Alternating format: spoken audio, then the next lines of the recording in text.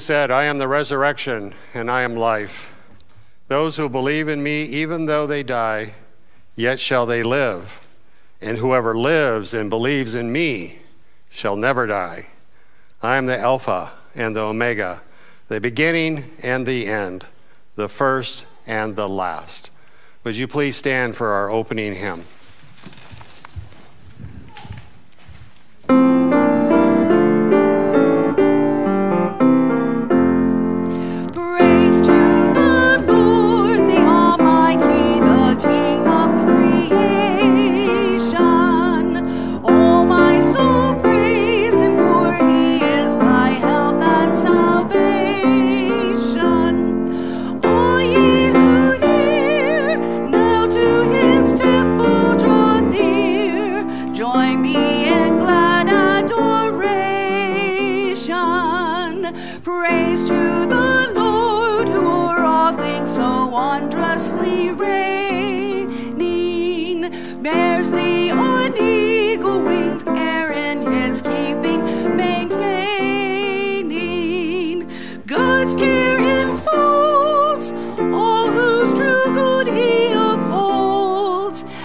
thou not known his sustaining?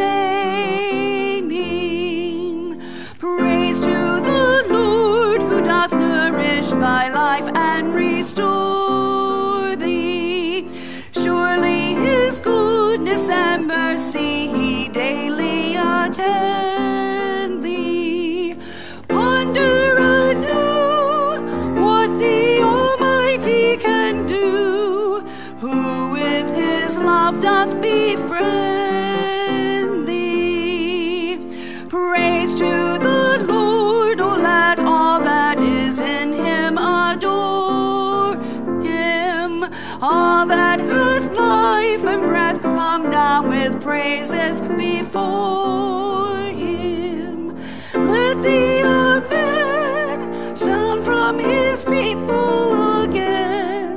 Gladly forever adore him.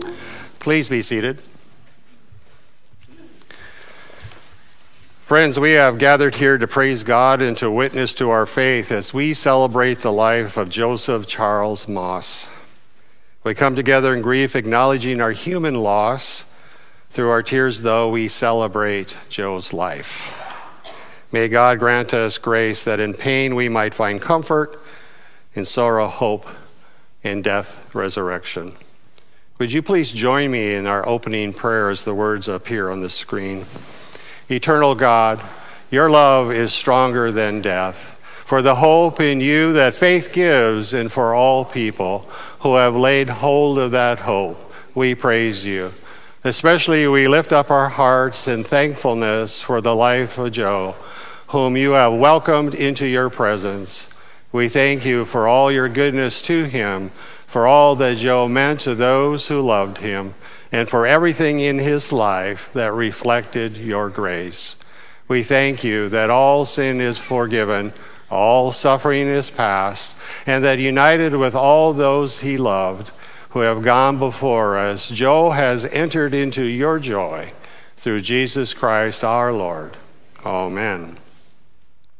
Today, as we come to here, we hear words that have been handed down for us for such a time as this to help us in this time, to give thanks for a life well lived, to deal with the sadness and tears that have come. So, how appropriate to turn to ancient words of people who have gone before us, who have experienced the same things, who have gone through what we're going through, and continue to praise God.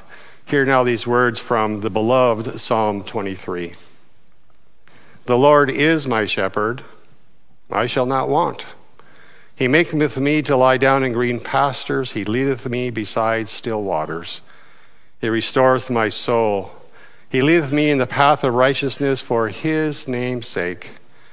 Yea, though I walk through the valley of the shadow of death, I fear no evil, for thou art with me. Thy rod and thy staff, they comfort me. Thou preparest a table before me in the presence of my enemies. Thou anointest my head with oil. My cup runneth over. Surely goodness and mercy shall follow me all the days of my life, and I will dwell in the house of the Lord forever. And now, words from the prophet speaking on behalf of God to God's people who thought they were lost, they were forgotten, who didn't know how they would make it through yet another difficult time. And the prophet Isaiah comes with words of the Lord that are beautiful and sustaining. But now, says the prophet, says the Lord, the one who created you, the one who formed you, Israel, don't fear, for I have redeemed you. I have called you by name. You are mine. When you pass through the waters, I will be with you. When the rivers, they won't sweep over you. When you walk through the fire, you won't be scorched, and the flame will not burn you. I am the Lord your God, the Holy One of Israel, your Savior. I have given Egypt as your ransom, Cush and Sheba in your place. Because you are precious in my eyes, you are honored, and I love you. Good words for this day. Joe was a remarkable person, as I know many of you know. That's why you're here. But on these occasions, it's always good to hear the life named once again. David Royals, the lay leader here at Church of the Palms, comes forward to do the naming.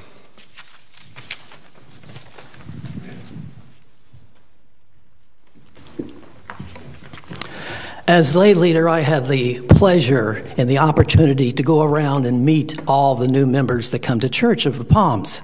It's always a joy to shake hands and greet people as they come into the church. The first time Joe came, uh, a congregational member said, Come over here, come over here, you gotta meet Joe, you gotta meet Joe. And certainly I walked over to Joe and he stood up. He stood up and greeted me, shook my hand, and I said, Man, this guy's got respect. He doesn't even know who I am, and so forth. But he stood up and, and respected me. And every time I would come into the to the sanctuary and they'd say, Come on, Joe's here again today. Come over and greet him. So I would, and he'd always stand up. He never got used to just sitting down and saying hi, good morning to you, and so forth. But Joe is like that. He fit right into our congregation. Uh, we adopted him, we helped him through the services that he knew pretty well himself, uh, but sometimes needed a little guidance. He was a people person. He liked people and he liked our congregation. And look at the response, the reflection, it reflects on you, as many of you have come today to pay your respects to Joe. And now let's remember and celebrate Joe's life. Joseph Charles Moss, born April the 9th, 1930, died January the 31st, 2023. Joe could often be seen on his morning walks where he would stop and salute the flag. He enjoyed chatting with everyone along the way. He frequently sat on the porch watching the birds and listening to audiobooks. He also loved a glass of wine. Who wouldn't? Or a margarita. Football was Joe's life. He played basketball and football in high school, but his career solidified when he played football at the University of Maryland. The team won the 1952 Sugar Bowl against the number one team, Tennessee. I'm sure he's enjoying, enjoying that moment. Joe was later drafted to the NFL by the LA Rams, but traded to the Washington Redskins in 1952, where he played for a year. He then served out his ROTC commitment in the Air Force, where he was a player coach. He played one season for the Ottawa Rough Riders in the CFL. Does anybody know what the CFL is? It's a Canadian. What you you know what it is, don't you? All right, good. Canadian Football League.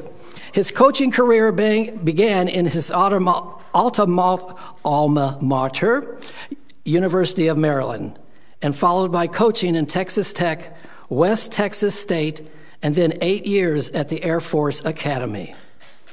He left Colorado for the NFL, where he spent four years as defensive coordinator with the Philadelphia Eagles.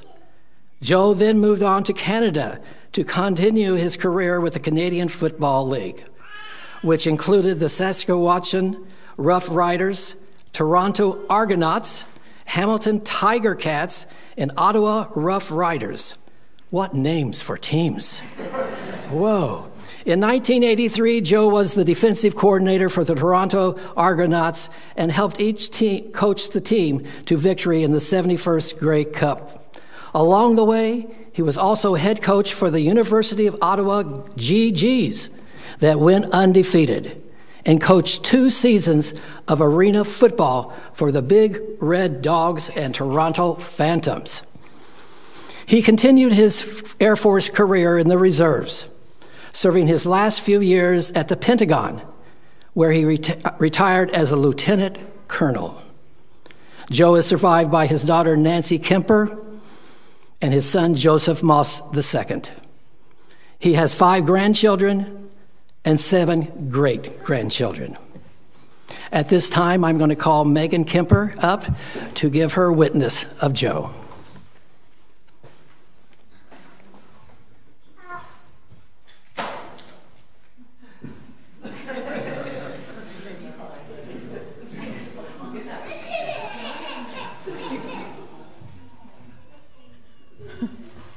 Sorry about that. Good morning. As I look around, uh, it warms my heart to see so many of your lovely faces. Uh, despite the sad occasion, I must say that with a turnout like this, Joe was clearly doing something right. Um, Poppy Joe, Coach Joe Moss, he was many things father, husband, uh, brother, grandfather, great grandfather football player, coach, and judging by this crowd, he was a friend to many. He was strong, physically and emotionally, but what stands out to many was a sense of humor. Always quick with a joke or a witty one liner. He did ask the ICU nurse for a glass of wine, after all. Yet, still, just one facet of his personality. As many of you know, he was a lauded football player and coach, and I'm sure my mom can attest it was a blessing and a curse to grow up in a football household. There are photos of me as an infant in an Eagles onesie that I would personally like to have stricken from the record. but while this was a huge part of his life, again, just one part among many that becomes this whole person who is wholly missed. Coach always made an effort. I have distinct memories of him driving down from Canada to visit, just him and his standard poodle along for the ride. As he got older, he wanted especially to have relationships with his grandkids and great grandkids, to have them truly know him, and he succeeded. He spent time with my cousins and their little ones in Virginia, and he made a grand effort for us. It was clear as he, until he passed, as my little Josie Bean and I were able to be with him on his last good day, that his family and those around him truly brought him joy.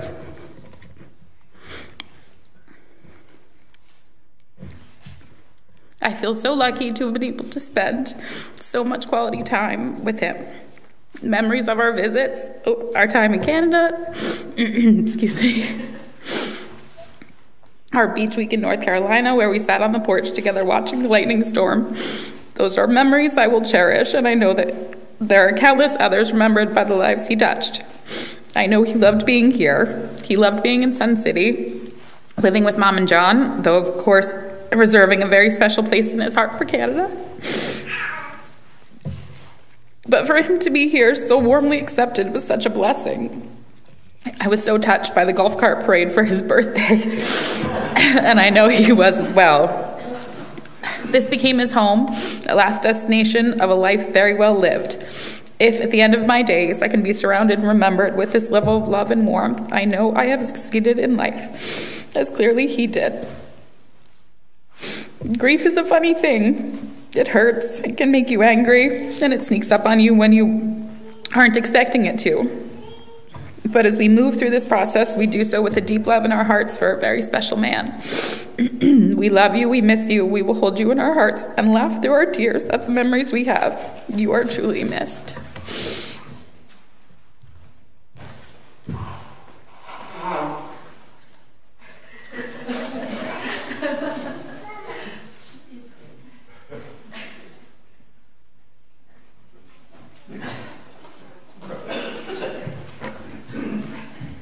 That's his namesake sitting right there. that goes to show you something, right? First, I want to say thank you. Thank you to all the people who are here today, who are watching on live stream, and all of those who sent condolences, cards, and their love while going through this. It's so appreciated. My dad was born in Elkins, West Virginia, and uh, my great grandmother had a farm there. Don't start you. The depression was in full swing when he was when, when he was growing up, and so he worked very hard to save money every summer. He'd do logging, he'd work on the railroad, and my grandmother used to say he was tight as a tick when it came to money. But he could also be a very generous man when he wanted to. I remember when he um, first went to the Washington Redskins, he bought my, my grandmother a full set of china, place sitting for 12. All the flatware, all the serving dishes, something that she'd never had. And so I know that he could be a very kind and generous man.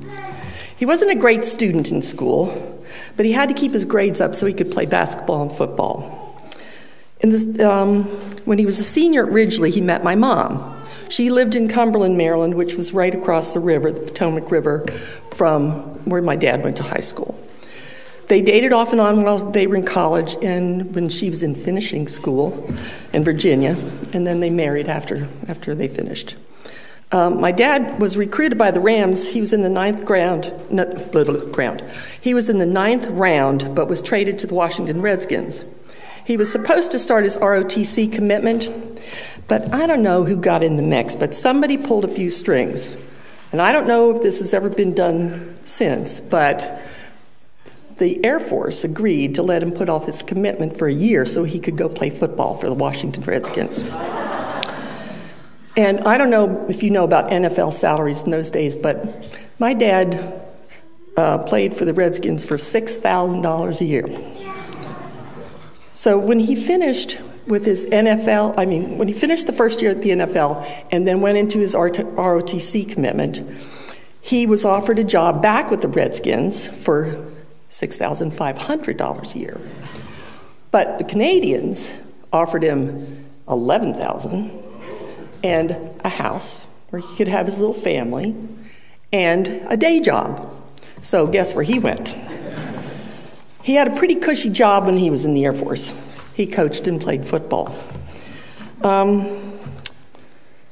when he was in the Air Force, I arrived on the scene, and 18 months later, my brother Joey was born. And then what followed was a very long series of coaching careers. I mean, we moved from Texas to Texas Tech to Colorado at the Air Force Academy, where I was for eight years when I was growing up. My dad was not a great father in the usual sense. He didn't read me bedtime stories, he didn't tuck me in at night. My mother was in charge of the house and the kids. He was very strict. He made us say, yes, sir, no, sir, yes, ma'am, no, ma'am. You were to stand up straight. You made your bed every day. To this day, I make my bed every day. You had to do 25 sit ups and 10 push ups. And one time he made me a tool. He took an old golf club and he hammered out the end of it so it was in the shape of a fork. And it was my job to take that tool and dig up 25 dandelions every day. But he was a good dad in his own way. He really was. Um, one of the things we loved to do, he'd have uh, scouting films in his office in the house. And before we'd go to bed we'd go in and watch the you know the scouting films. And we'd, he'd, we'd say run it backwards daddy run it backwards. And we'd laugh. Oh that was the funniest thing. Anyway he loved to camp and fish. So we traveled all over the west when we lived out there.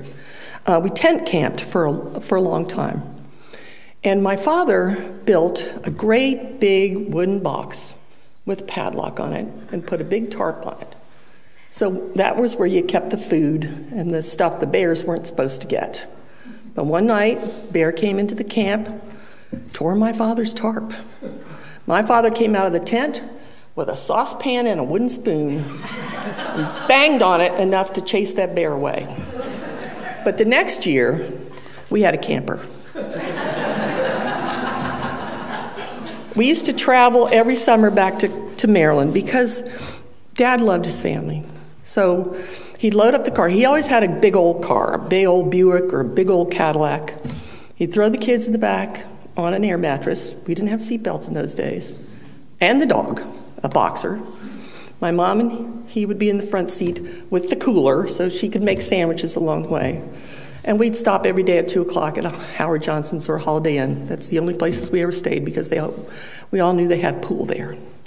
So we'd stay two or three weeks in the summers back home. I've always thought of Cumberland as, I, I never lived in Cumberland, but I've always thought of it as back home. He wasn't, a, like I said, he wasn't a great, a great student in school, but he was a voracious reader. He'd have two or three books going all the time. And after his stroke, he couldn't see very well. The, you know, the stroke, his eyes were healthy, but his eyes didn't connect well with the brain, so there was splotchy vision. And he would, I'd um, load up audiobooks for him. I was constantly, Dad's out of, he needs another book, he needs another book, he needs another book. But he loved to listen to his books while he sat out on the lanai. And my uh, dad's other great love was his dogs. He had a little dog named Sam the Wonder Dog. Sam was a miniature poodle. Dad got him when he was about eight months old. And that, that dog went everywhere with my father. When Dad was between wives, he was actually living in the locker room, and Sam the Wonder Dog was right there too. In fact, Sam the Wonder Dog got more press than my father. If you look out there, there's a, on the board, there's an article that um, at the very end talks about Sam the Wonder Dog. Anyway, around 2017, he asked if he could move in with John and me. And, you know, it's a big decision taking on an older person. But we said, sure, we'll give it a go. So he lived with us for about three, three and a half years. And he absolutely loved it here. He'd take walks twice a day, at least, sometimes more. He'd walk with a big stick. He never walked with it, he carried it. But when he'd stop to talk to people, he could lean on it. So he'd, you know, he just loved the neighbors, and the neighbors seemed to love him too. Um, while he was living with us, I learned a lot about him, but I also learned a lot about myself, like forgiveness, like patience, like kindness and good humor. And I learned all over again that I love my dad, and I'm really going to miss him. That's all.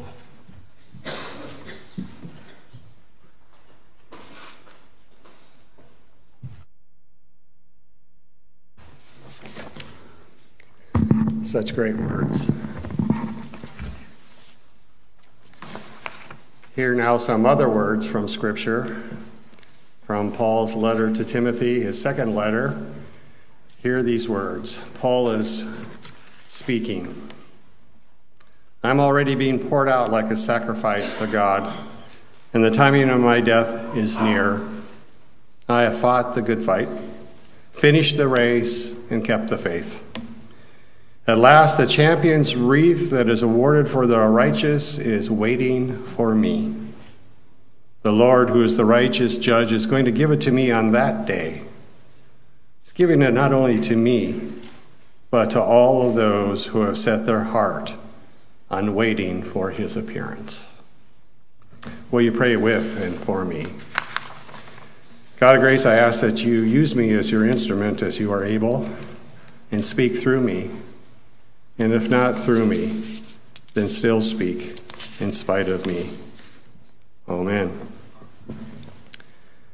As the sheepdog here at Church of the Palms, also known as the pastor, it's my honor and privilege to know Joe Moss and to be known by him. I'm so grateful to Megan and to Nancy for sharing those great insights to such a remarkable man. Joe had been attending here for about the last year, and in that time made quite a significant and lasting impression on anybody who met him. You've already heard a little of that, but definitely on me.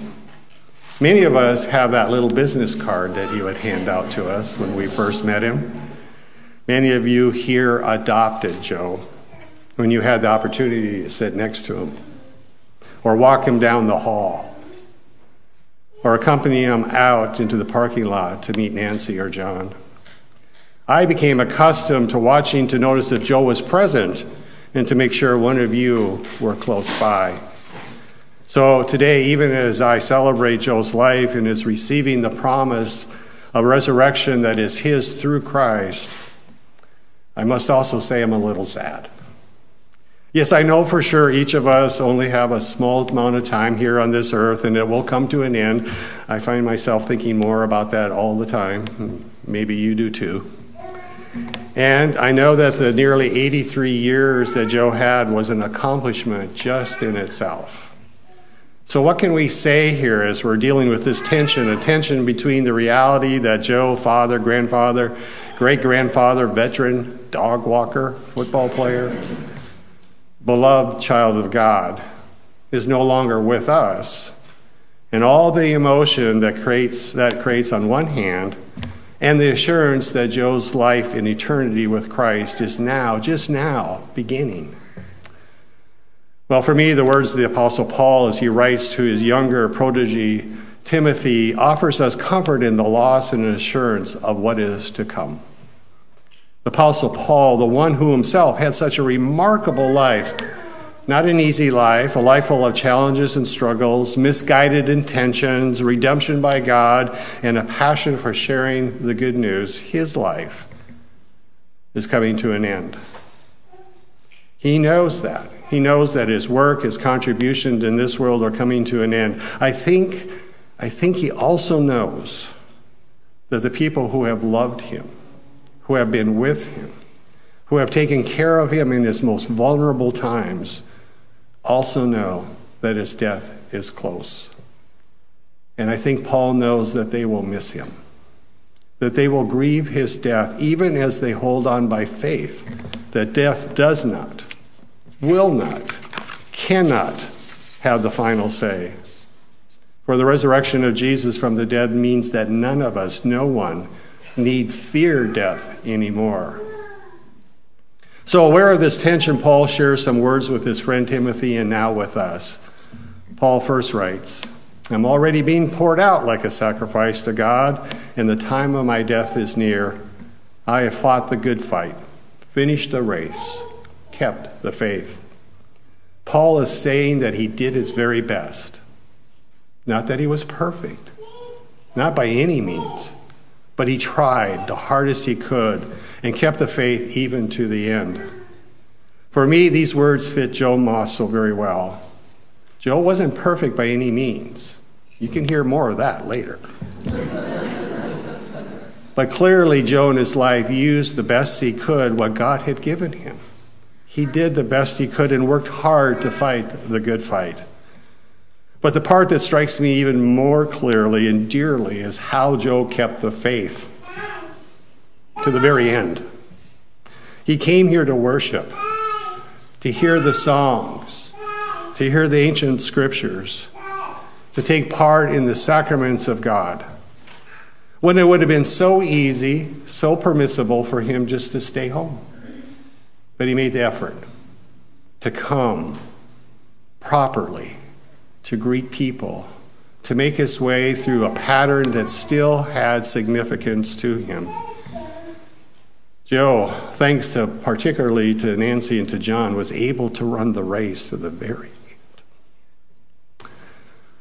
Paul shares a few more words. He goes on to say, At last the champion's wreath is awarded for the righteousness it is waiting for me. The Lord, who is the righteous judge, is going to give it to me on that day. He's giving it not only to me, Paul says, but also to all those who have set their heart on waiting on his appearance. These words remind us that life on earth here is really very temporary. But our eternal destiny as believers with, God, with the Lord is secure. We gather this morning because Joe has finished the earthly race and has indeed been awarded the crown of righteousness, a reward for faithfulness in keeping the Lord's commands. You can tell from Joe's accomplishments, some which were captured in the obituaries and others shared by Megan and Nancy and others that you will hear, I hope, as you share stories and remembrances, that Joe experienced many rewards for accomplishments, for successes, for victories. Joe received many titles and trophies, but there's one title that stands out among the rest. It's also one that Joe had that forever will remain with him. Many of you have already heard this story multiple times already, but that's okay. This is a memory that I hope I can tell over and over and over. You see, it was the second Sunday of January in this very space at the 11 o'clock service. On that particular Sunday, we remember the baptism of the Lord when we are baptized into the family of God, when we receive our true identity, when we receive forgiveness. And we don't do it all but that one Sunday, and there's an invitation for anybody who's willing to come as they're to feeling led to come to the baptismal font that we set on the floor. It's full of water. And you're reminded to put your finger into the water and to remember your baptism and to be grateful for what God has done. Well, that morning, as I invited the congregation to stand up and come as they were so led, of course, Joe stood up. But the pattern was different. And for a brief moment, Joe was lost. He didn't know where he should go. And I saw it about halfway, happening halfway down the aisle. And then one of our dear members, further back, he came forward and gently took Joe's arm. And together they came up to this baptismal font here. And Joe was back into something he knew. So he put his hand in the water to remember his baptism. And I slowly lifted Joe's head up so that I could look into his eyes. And I took water and I marked him with the sign of the cross one more time, the last time he would be in this place and reminded Joe your true right name is beloved child of God. Well, it's a name that was given to Joe in his baptism, an identity that Joe claimed in his life and faith, and it's now the name by which God has welcomed Joe into eternity of heaven. Welcome, Joe, beloved child. Welcome home. So, yes, I personally will be sad that Joe isn't here with us anymore. But I will not, and you need not, grieve as those who have lost no hope. Instead, we can celebrate our life of Joe, the hope that we have in the resurrection. So I pray for myself and for you that we have the peace and the comfort that the Lord will be with us during these difficult times and that we will be strengthened in the knowledge that one day we will be reunited with our loved one in heaven. Rest in peace, dear Joe. You have fought the good fight. You have finished the race. May you now enjoy the eternal reward of your faithfulness to the Lord. Amen.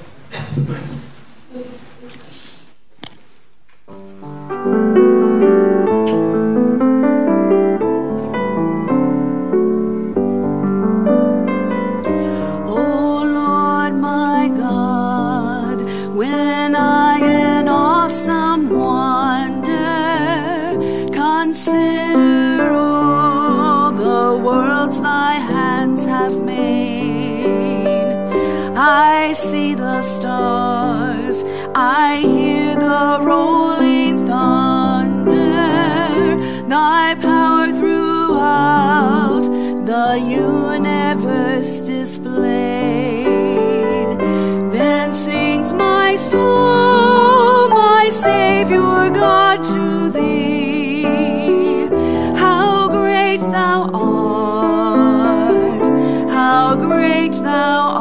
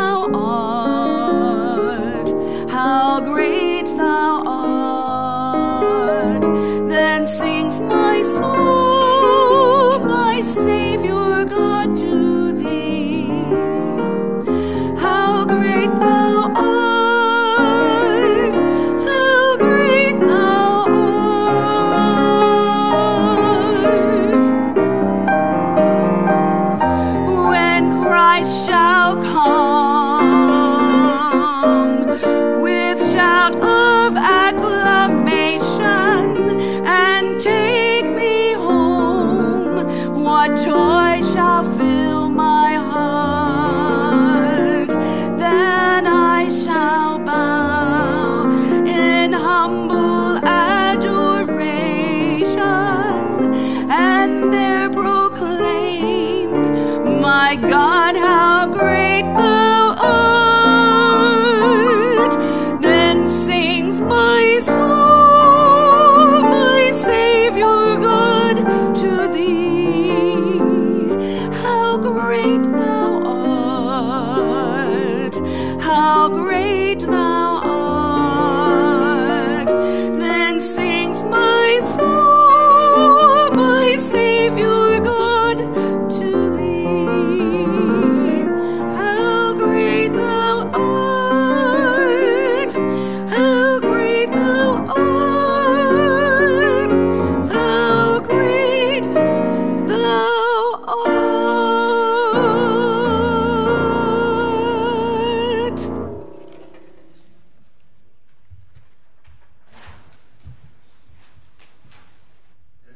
Seating, seated, I invite you to use the words of the Apostles' Creed to declare your faith to each other and to the world.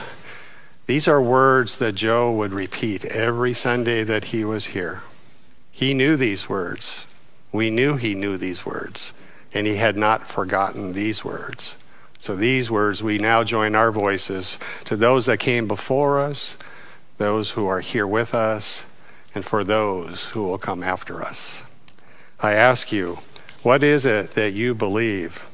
I believe in God the Father Almighty, maker of heaven and earth, and in Jesus Christ, his only Son, our Lord, who was conceived by the Holy Spirit, born of the Virgin Mary, suffered under Pontius Pilate, was crucified, dead, and buried.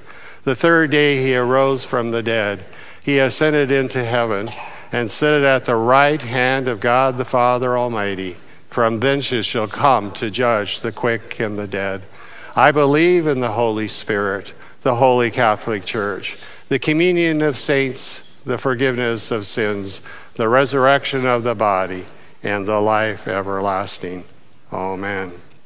Let us pray. God of love, we thank you for all that you have blessed us with, even to this day, for the gift of joy in the days of health and strength, and for the gifts of your abiding presence and promise in days of pain and grief. We praise you for home and family and for our baptism in the place of your church with all of those who have faithfully lived and died.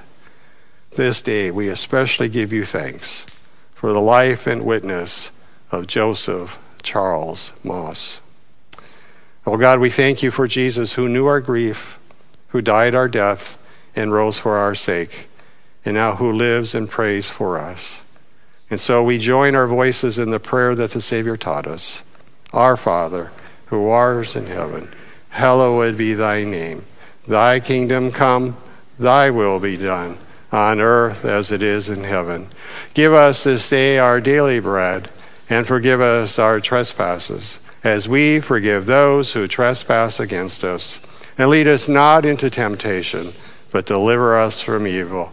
For thine is the kingdom and the power and the glory forever. Amen. Would you please stand as you are able for our closing hymn?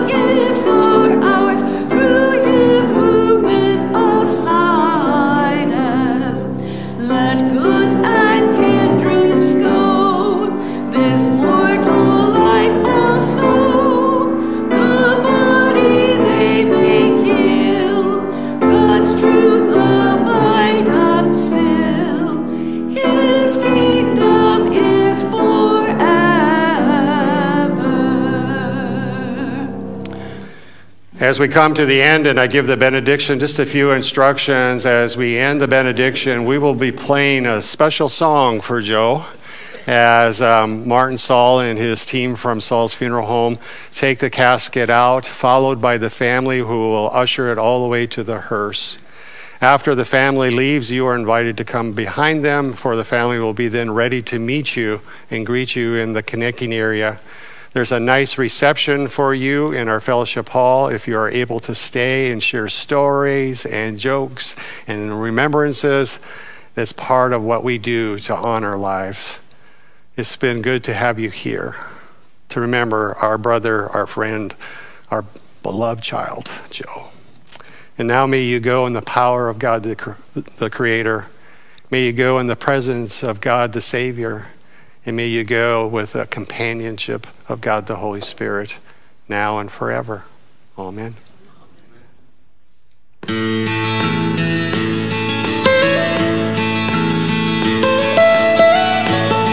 almost heaven, West Virginia, Blue Ridge Mountains, Shenandoah River.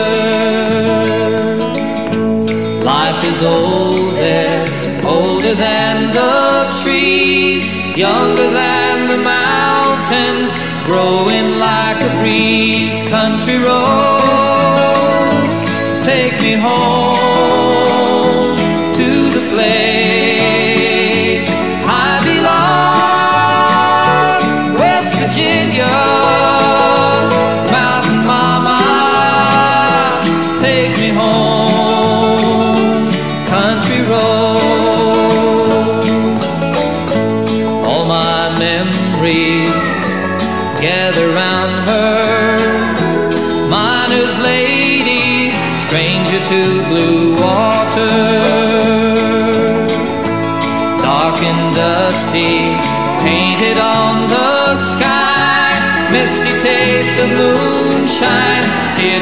in my